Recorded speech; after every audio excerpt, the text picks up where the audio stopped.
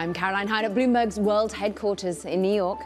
And I'm Ed Ludlow in San Francisco. This is Bloomberg Technology. Coming up in the next hour, uncertainties around China's COVID curbs, the human story and the technology story. What unrest means for Apple and iPhone production in the months ahead. Plus, sticking with Apple, the tech giant is being called out by none other than Elon Musk, the Twitter chief tweeting at CEO Tim Cook asking if the company, quote, hates free speech.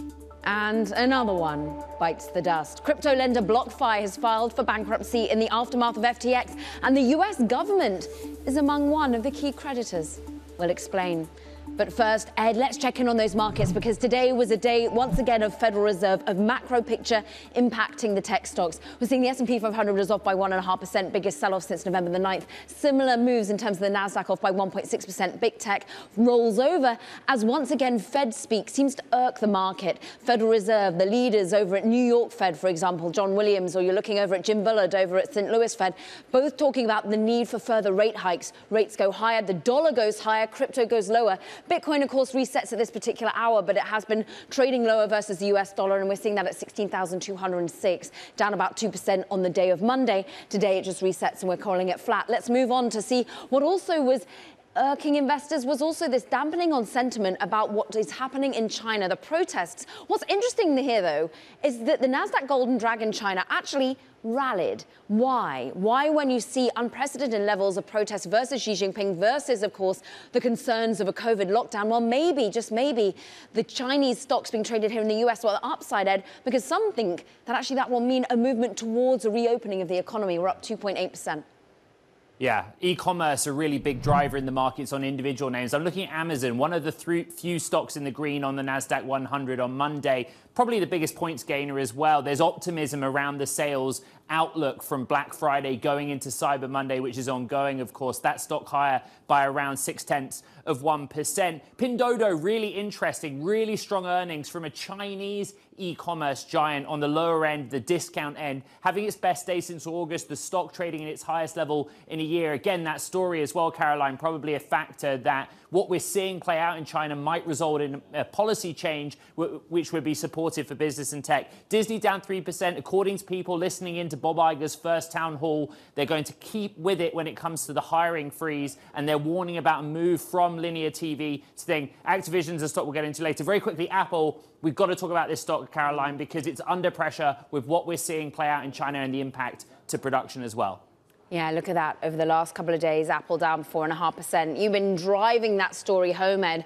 And let's dive into it a little bit more because, well, it's been gripping the entire world. China's growing protests against COVID curbs and a record number of infections complicating the nation's path to reopening. Here's what some Bloomberg TV guests had to say about the sense of uncertainty just sweeping through Chinese markets. As long as we're seeing the the ongoing COVID zero policy, we're not going to see um, you know much of a, a stabilization in domestic demand unless the government really moves away from its targeted approach. At this point, it looks like that a rapid or um, a reckless uh, opening of the economy will be worse for uh, China's growth. Because the biggest problem now, of course, is in the labor market. For the time being, it seems that the outperformance that we have seen in the Greater China region um, could be capped in the very near term. The next few months are clearly going to be challenging, but we still feel comfortable that in the second half, China is going to be a much better story from an investment perspective. Interestingly, the mall is doing well primarily because people can't travel. So we're seeing, seeing you know, uh, a, a uh, good spending and a good foot traffic in the mall. A macro perspective there. Let's dig into the technology impact as well. Bloomberg's Debbie Wu over in Washington. And of course, Debbie, you cover in particular Foxconn, you cover in particular Taiwanese companies as well as Chinese. And just talk to us about whether or not this is an unprecedented nature and what it really means for business, for the economy in China right now. Uh, so, what we have seen is. Um, this is becoming a, a challenging uh, situation for uh, supply chain in China, although uh, White House said today that they don't see a uh, major impact on uh, supply chain uh, from recent port protest or uh, unrest in China over the weekend.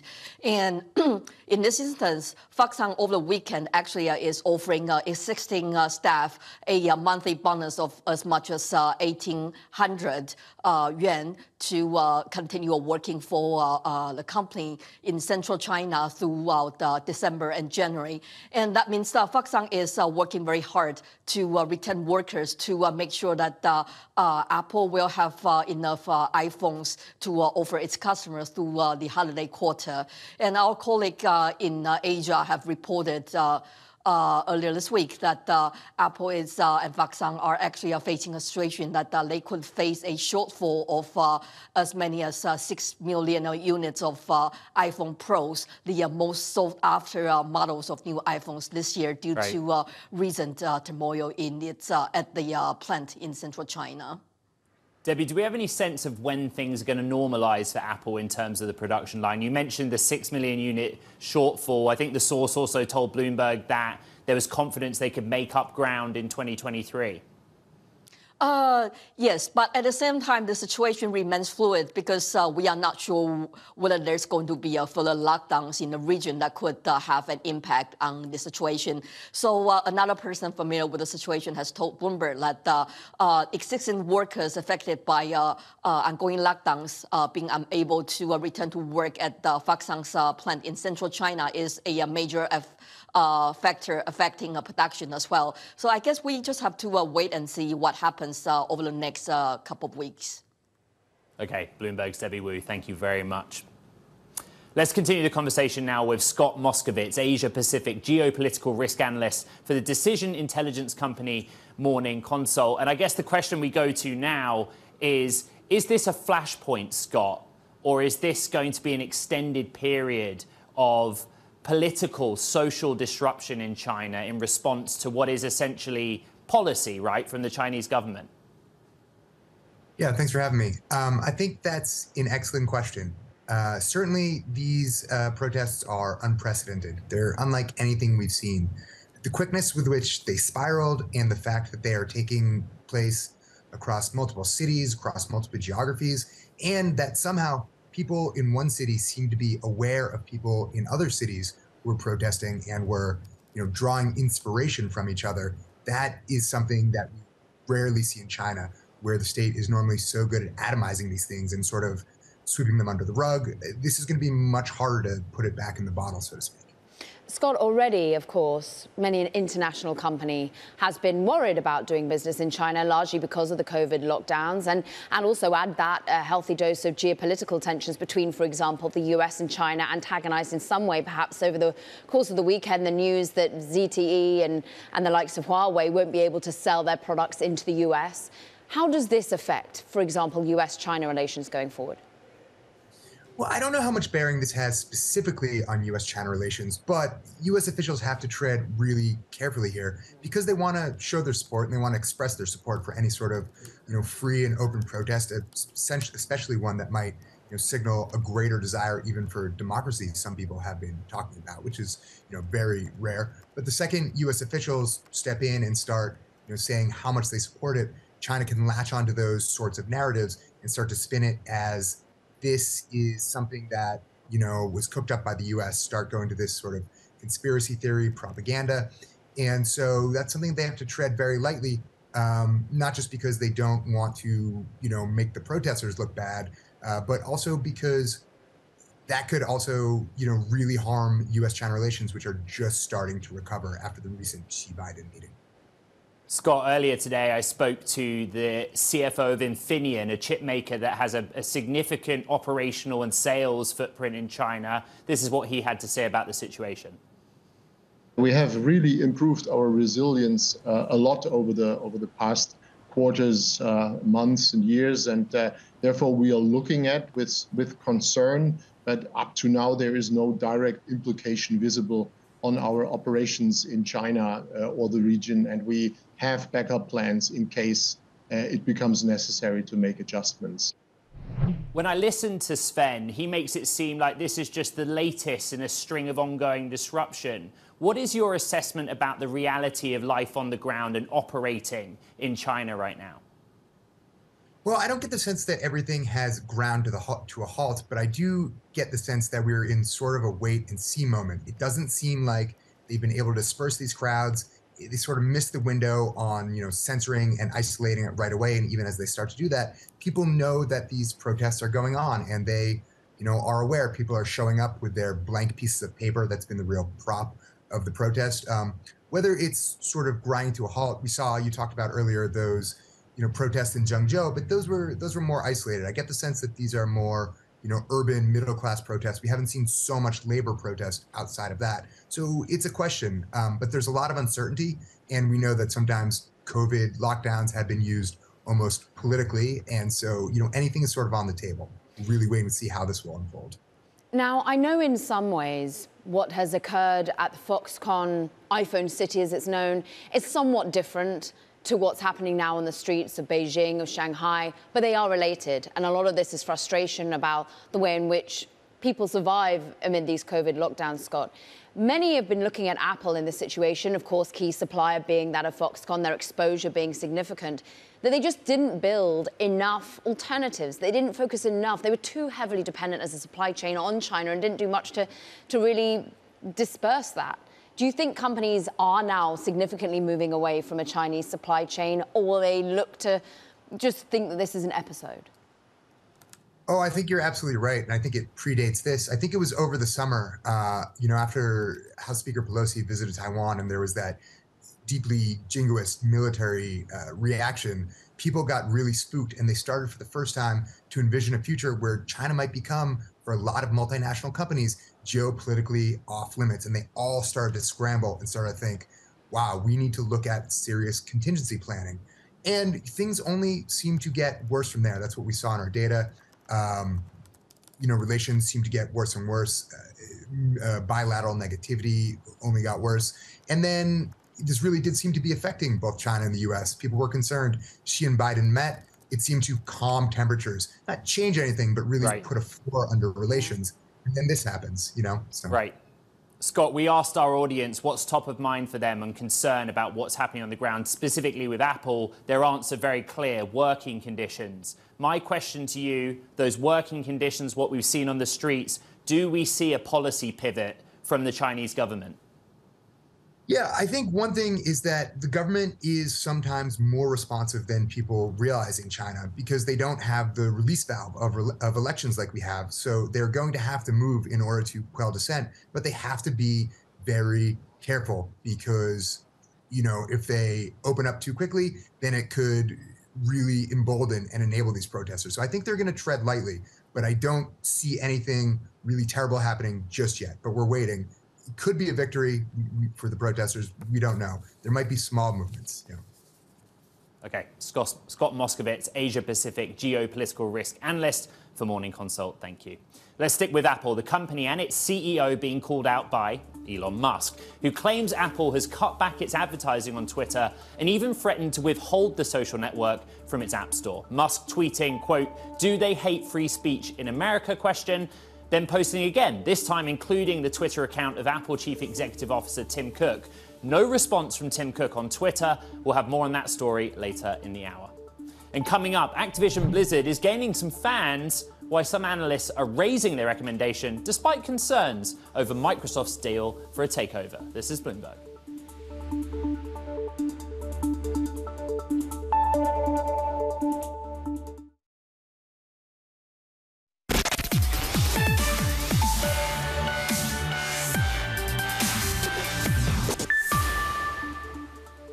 Activision Blizzard has gained fans on Wall Street as a flurry of analysts raise their recommendations on the stock, even as Microsoft's planned acquisition looks more and more dicey. Joining us now is Bloomberg's M&A reporter, Yuchen Shen. And Yuchen, just talk to us about what your reporting is showing. First and foremost, what are the odds that this deal actually goes through? Sure, yeah. So I will say um, I'm hearing from merger arb traders that they see the deal probably is having only roughly 40 to 50% of going through, so it's pretty dicey. But it's interesting that we are seeing all, among the Wall Street analysts, they're boosting their rating on the Activ Activision, the stock itself, uh, mainly for two re reasons, I would say. First, it's a strong fundamental value, and second is it's a very attractive risk-reward profile given the Microsoft situation Because remember, Activision is in the process of uh, being acquired by Microsoft for 69 billion. That's a huge deal, right? But there was a report last week saying that the FTC, which is the US regulator, is going to block and challenge the transaction. The stock, so the stock tumbled, right? But the analyst points is they see and they like the stock with or without Microsoft transaction because their case is being as a standalone company Activision, it has strong fundamental, very solid growth outlook given its franchise, including right. Call of Duty, right? And they will get three billion breakup fee to add on the balance sheet, right? If the deal falls apart. But on the flip side, if you know it goes through, then look at where uh, the, the stock is trading. It's like 20% below the takeover offer. So that's a huge upside to capture in that scenario. Hey, Yuqin, you've taught me so much about the twists and turns of deal making. You know, you and I followed the Twitter deal so closely for months, for example. And the thing you taught me throughout that process, not just to crunch the numbers from the merger arbs, but it's to look out for key inflection points, mm-hmm. key decisions. So, what's the big key decision or key moment we're looking for between Activision and Microsoft? Right. So I would say antitrust uh, antitrust progress has always been the focus. So right now it's waiting on the approval from FTC, but also it's facing the probe uh, under UK CMA and European Commission. So regulators have raised a concern, you know, if this deal combining the number three and number five largest player in the industry will give Microsoft, you know, too much of advantage in a space, So if they will withhold popular titles against uh, their competitors. And I will say another thing to watch is just more broadly, um, FTC or the Biden administration has been have this very aggressive narratives around big tech players all years around, you know, uh, when it comes to antitrust issue. So that's particularly putting this mega tech deal under the spotlight. What's interesting, though, today, our great colleagues at Bloomberg Intelligence put out a piece, Jennifer mm -hmm. Reed, for example, talking about how actually Microsoft's no uh, new one-trick pony when it comes to M&A. They've been on mm -hmm. this mm-hmm. rodeo before, yeah. and quite often they make concessions. Are we likely to see that when the ARBs are talking about this? Right, right. I think that's definitely something people are watching, and people are watching. The next catalyst is um, when FTC going to drop um, their final decision on the case. Uh, on this deal. So I think media reports say that could come, you know, either uh, later next month or earlier next year. So it will depend on if they offer, so on the merger party side, if they offer some behavior remedy, but if, you know, the regulator accepts that. And if there's actually FTC decided to block the deal, then Microsoft still had the option to, they could appeal the case in the court. And remember, there's a similar case between uh, United yeah. Health and Change Healthcare, right? They got the challenge from the DOJ, but eventually when the court's approval on it, so that deal eventually close out. Okay. Thanks to Bloomberg, Bloomberg's Yuqin Shen on all things Activision. Coming up, we'll bring you the latest in the realm of tech layoffs from around the world. And before we head to break, let's take a quick look at Peloton. Shares up at one point as much as 8.8% Monday, highest since November 15th, paring them afterwards. This, as Adobe Analytics says, exercise equipment performed well on Black Friday, with sporting good category sales surging over the weekend. At the same time, the original Peloton bike being offered at a discount Monday on Amazon. This is Bloomberg.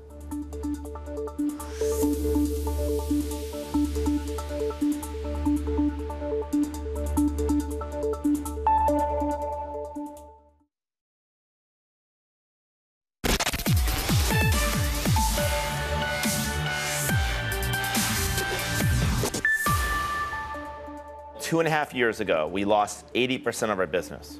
We laid off 25% of our employees.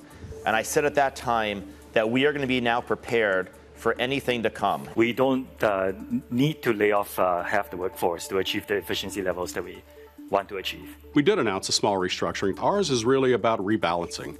Uh, the number of headcount we had at the beginning of the year, we estimate we're going to have the same number of heads at the end of the year. We are not stepping on the brakes. In fact, we're stepping on the gas. We are still hiring. We're not freezing. We're not cutting. We're growing.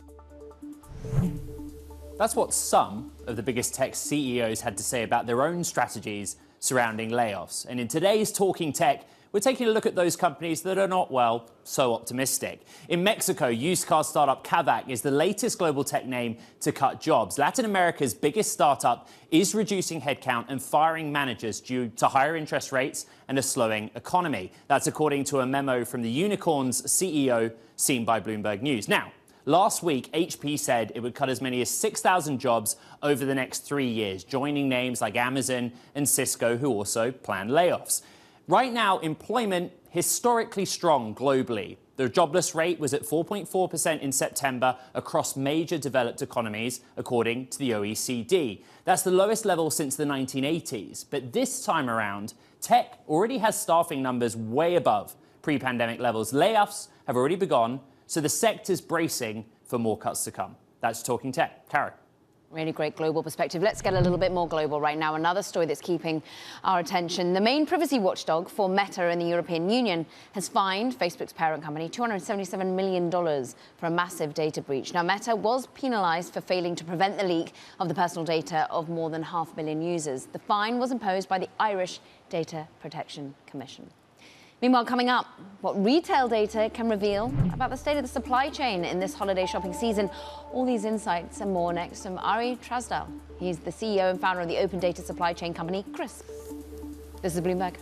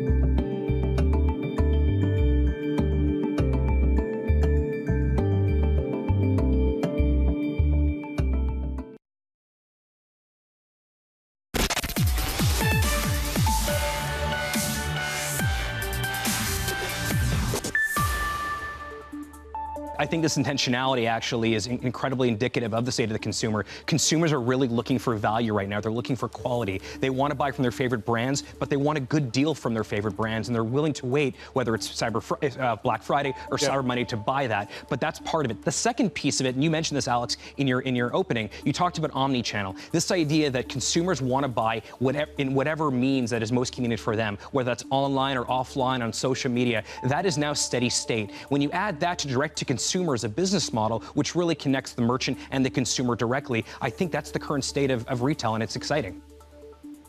Welcome back to Bloomberg Technology. I'm Caroline Hyde in New York. That was Shopify President Harley Finkelstein on Bloomberg Television a little earlier today. And Ed, you're taking a closer look at Shopify and other retailers post Black Friday. Just give us the big picture. Was it good?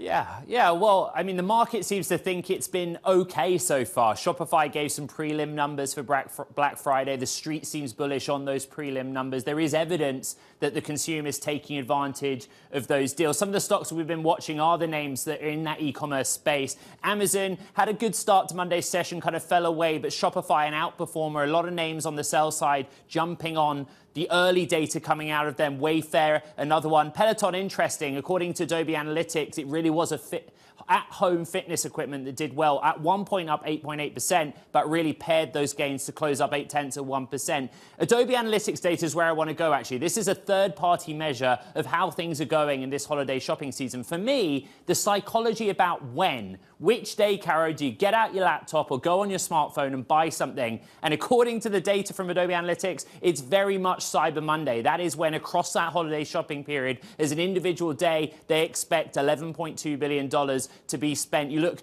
for example, of Thanksgiving Day as uh, comparison, Black Friday as a comparison. It seems like consumers need a few days to get over their turkey trip and get out there online to buy some deals. Now, this year relative to other years. Let's look at 2022 and where we're headed. We do expect growth for 2022 across that holiday season. E commerce spending in the United States, we're on track for $210 billion. That represents 2.5% gain on the holiday season in 2021 here in the United States. But I find that fascinating, Carrie, because it's still growth at a time where we're really worried about a slowdown in the economy. We're worried about the strength of the consumer. And what I'm reading in the data is actually discounting and deals seems to be doing the trick, albeit not in the same way it's done in previous years.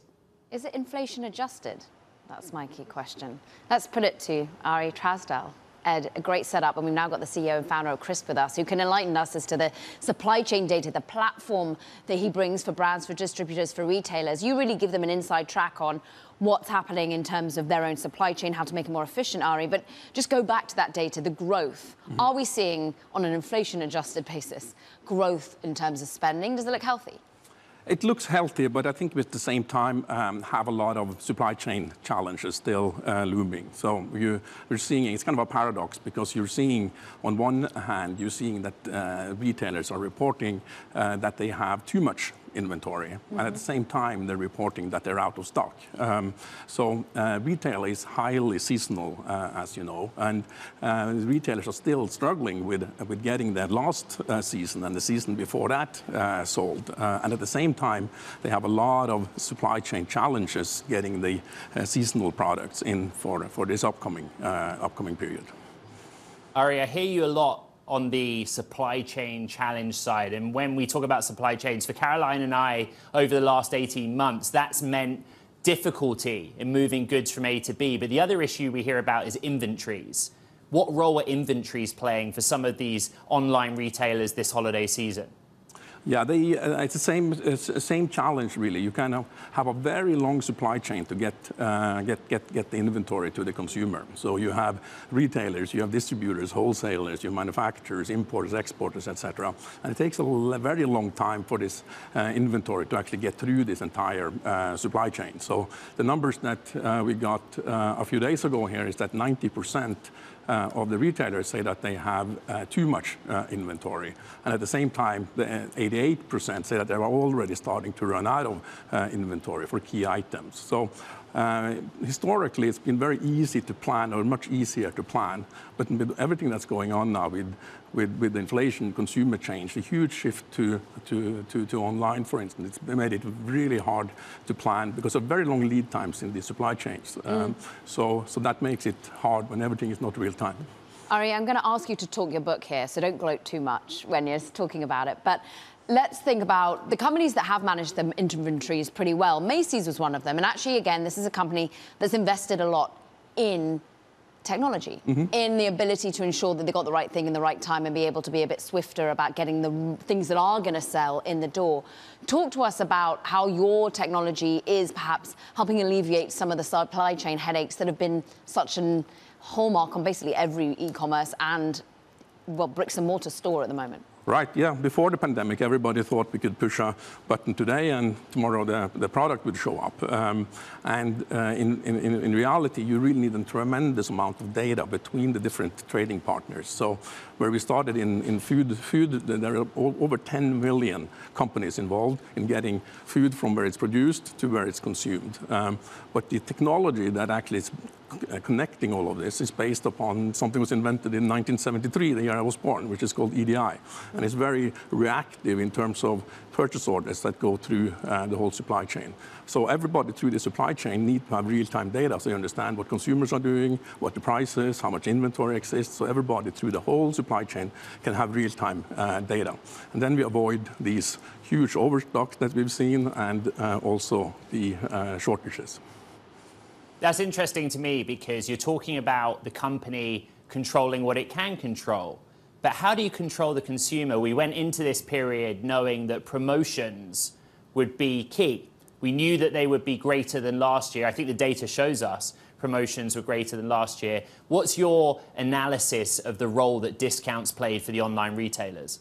I think these discounts are impo incredibly important, but I think very often blunt instruments are used when you can have uh, surgical precision uh, instead. Um, and uh, in, to, in, order to do surgical precision, you really need to understand what store is the product selling in, what's price point, how inflation sensitive is that particular uh, area. So discounting uh, can be much more precise in a way. Some care more about, um, about price than others, but you have to have really granular data now to the SKU and to the store level, and also understand inventory levels and pricing and what competitors are doing. So I think historically we've seen a lot of kind of blunt instruments being used, and you can have for very little affordable price, you can use surgical uh, data instead to, to optimize. Talk to us about how that really works then. Say you realize that a lot more shoppers are wanting a particular item in Brooklyn vis-a-vis what's happening in Minnesota, and you can therefore have a cheaper price point. But with e-commerce being so prevalent, the fact that I can, while I'm in the store, pick up my phone and decide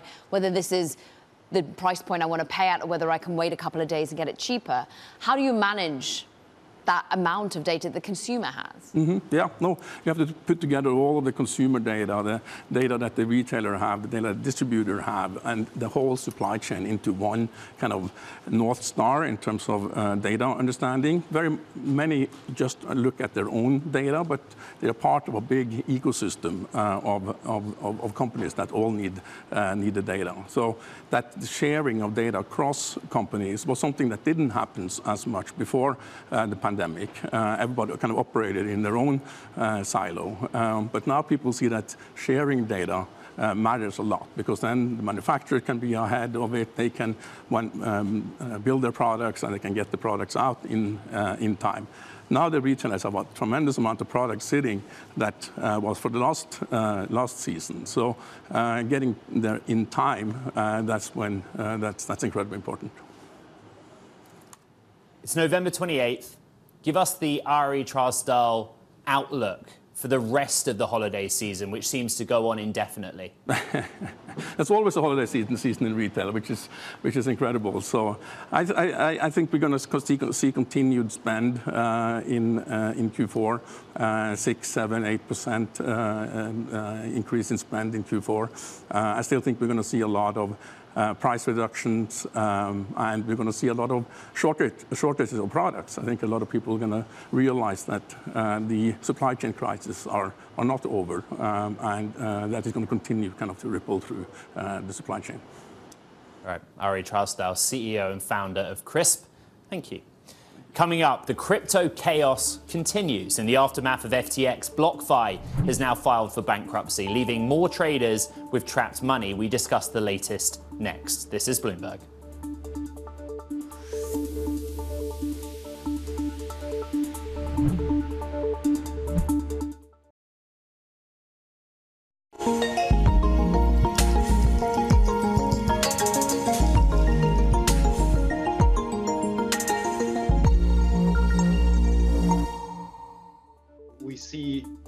Same confidence and the full confidence in Coinbase that we've seen previously, and we do not see anybody leaving the space.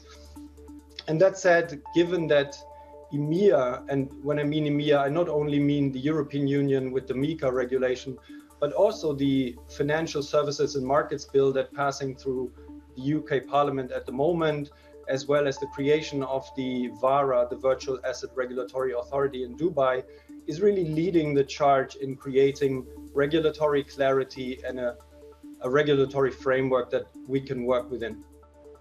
Daniel Seifert there, EMEA Vice President Managing Director of Coinbase. Now, let's talk about confidence more broadly in the space, particularly after today's perhaps inevitable news that BlockFi's finally had to file for bankruptcy. Joining us now is Bloomberg's Sonali Basak. And I say finally because it was anticipated, because the White Knight had been the now bankrupt FTX for them previously. We have been expecting a filing and reporting now for at least a week here that this would be expected at some point, and now we have some details. And what do we have from them? We have not just the plan to file for bankruptcy in New Jersey, we have some details about the scope of how big this bankruptcy proceeding is going to be. So 1 billion to 10 billion dollars in assets is the general size of BlockFi. It's quite a large size. quite a large size, but more than 100,000 creditors. We would have to keep an eye on future filings to see how many that will ultimately be. Remember, FTX also had checked that last box on their filing and it found out later that was about a million people at play here that we are talking about. We also know that the concentration is different among the unsecured creditor group. So what is that exactly? It's more than 700 million million that is really highlighted here, earmarked to the trustee of different depositors, FTX itself, which we'll talk a little more about, I know, and then also you have the SEC from the remainder of number four, right? They're the fourth exactly. biggest creditor. So uh, there are a lot of names that you don't have here, similar to FTX, but you know that those amounts are kind of isolated here between $1 million and $30 million. So you might see more contagion there among the uh, people that they're owed money to because you don't know what they'll get back yet. But we know that that is the general size of uh, per per customer, per creditor here that is owed money and how much generally they're owed.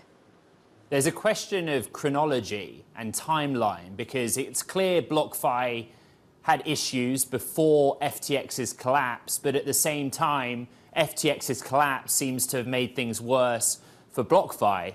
Um, if you follow that, Sonali, what is the relationship now between the two?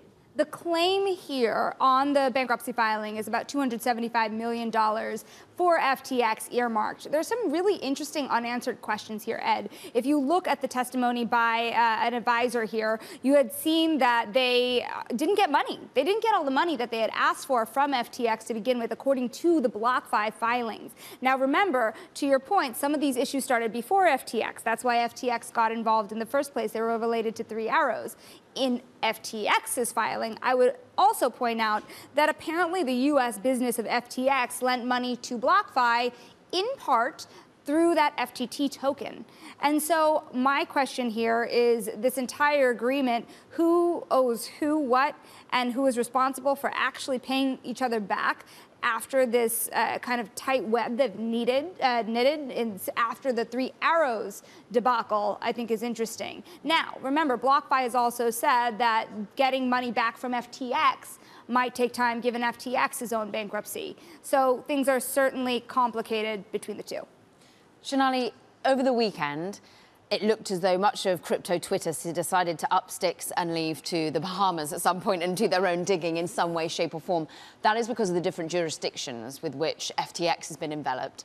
Same thing here with BlockFi a bit. Obviously, Chapter 11 is, a, is a protection here in the US, but it wasn't just based in the US. I spent an inordinate amount of time with bankruptcy lawyers today for that reason, because it, to that end, they the had. only people that win, Sonali. Truly. In this case, I will tell you just how much in a moment. But for BlockFi, they filed a petition with the Bermuda Supreme Court here so that they would have provisional liquidators in both regions now. Remember, from Bahamas' point of view for FTX, there is a lot of dispute that has occurred since the bankruptcy proceedings have begun, and to the point that you even have the Attorney General saying that some of the words that have come from the new FTX CEO are regrettable. Mm-hmm. So, to the extent that the Bermuda government and the U.S. stay in line in this bankruptcy filing, again, they want to recoup money for their customers, for their own people, and at the end of the day, what it seems like from the statements we're seeing from the Bahamas is also uh, redefine the credibility of every single jurisdiction's financial system and ability to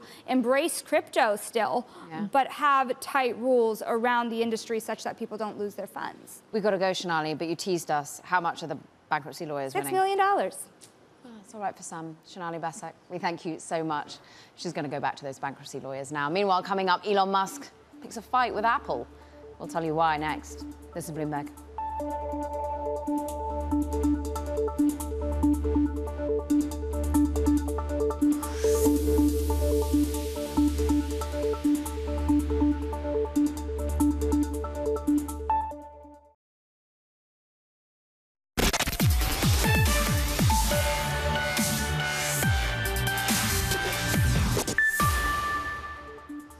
So today, Elon Musk has once again been going viral on his own platform and others. This time, he's stirring a fight with none other than Apple. Now, Musk says Apple has halted most of its advertising on Twitter and asked the company, quote, if they hate free speech in America. He even appealed directly to Apple CEO, asking, what's going on here, Tim Cook? He also went on to accuse the company, well, threatening to remove the platform from its app store. He did not say why, though. And now, this all comes as many companies have halted spending, we know, on Twitter amid concerns about Elon Musk's content moderation plans for the site. Watchdog site, in fact, Media Matters, reported last week that half of Twitter's top advertisers had pulled their advertising on Twitter after concerns about the direction of Twitter. Let Ford, Jeep among them. Elon Musk, meanwhile, has been blaming activists for pressuring advertisers and has talked about Twitter seeing a massive drop in revenue already. He said in the past that he wants to make money for Twitter by turning it into a paid subscription service, with a relaunch of its paid verified services due Friday, of course. But for now, the vast majority of Twitter's revenue still comes from advertising. Ed. Yep, let's stick with this story. Bring in Bloomberg's Kurt Wagner, our social media reporter, for more. I mean, Kurt, there's a lot to unpick here. What happens if Apple took Twitter off the App Store? I guess that's the place to start. Sure. I mean, that's a pretty dramatic outcome, right? Like this would be that Twitter is routinely, uh, uh, you know, allowing uh, terrible content on the platform. Usually, Apple reserves this for, you know, uh, egregious violations. And so, if this were to be the case, of course, uh, that's a huge blow to Twitter, right? The App Store is is probably um, the main way, or one of the main ways that most of its users uh, get the app, get app updates. So, you know, for example, I believe the app would still work on my phone, but in order to, you know, get an updated version, I have an iPhone. I might have to, you know, figure out a way to download that from the web. It's the kind of thing that's going to erode over time and cause a lot of people to either stop using Twitter or, or you know, uh, possibly have to move to a different device. And so that's a huge issue. And one of the reasons I tweeted that I think Twitter needs Apple a lot more than Apple mm. needs Twitter here, and that's because Apple has the distribution at its at its fingertips. And actually, I was pretty surprised that Apple was one of the biggest advertisers with Twitter. Kurt, meanwhile, the cryptic sort of war almost he's declared on Apple continues. right. And talk to us about what he means by a free speech suppression. He says he's, he said in a tweet what that Twitter files on free speech suppression will soon be published on the social media platform. What does he mean? What's he going to declare on there? Uh, well, we don't know, but he's certainly kind of uh, piquing our interest, right? He's saying, "Hey, look, now that I'm inside the building, now that I've had time to figure out, you know, what's been going on in the code or behind the scenes, uh, you know, I'm going to kind of unveil what Twitter's been hiding from you this whole time, right? And and presumably, um, the way I'm reading that is that means he's going to come out and say." You know, here are the types of tweets that maybe were downranked in the algorithm, or here's the types of accounts that had been removed that maybe you didn't know about again, this is speculation, right? Because he's he's intentionally sort of building this drama there.